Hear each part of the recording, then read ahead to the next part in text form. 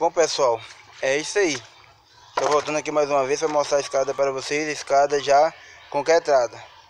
Acabamos de encher a escada.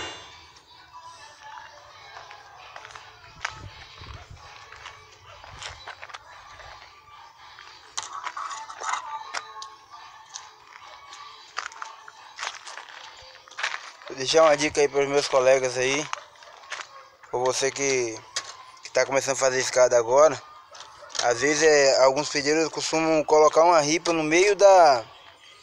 No meio do. do, do no meio da escada para escorar essa, esse espelho, a forma, o espelho, né?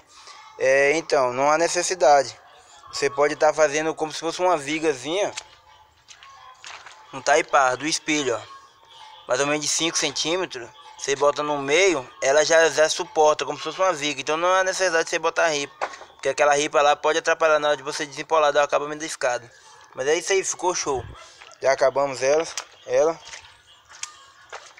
Agora é só receber o pagode.